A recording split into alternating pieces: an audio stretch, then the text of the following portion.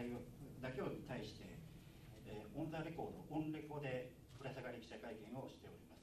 えーこれは考えまあ、15議席という大変厳しい結果になりました、まあ、この厳しい結果につきましては、あ私どもは厳粛に受け止めなければならないという考え方であります。まだまだ